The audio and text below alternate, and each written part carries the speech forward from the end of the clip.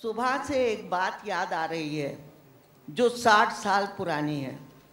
मैं 500 लोगों के छोटे से गाँव मिजवा में शादी के बाद पहली मर्तबा डोली में बैठकर गई थी।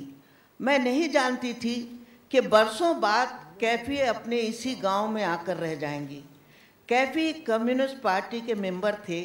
उनके और तरक्की पसंद अदीबों के साथ रहकर मैंने सीखा कि चाहे औरत हो या मर्द, इंसान को इज़्ज़त तभी मिल सकती है जब उसे रोज़गार मिले और वो अपने पैरों पर खड़ा हो सके।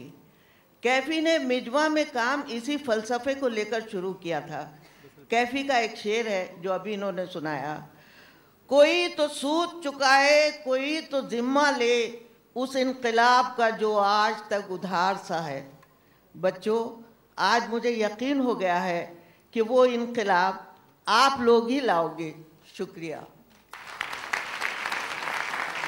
Ladies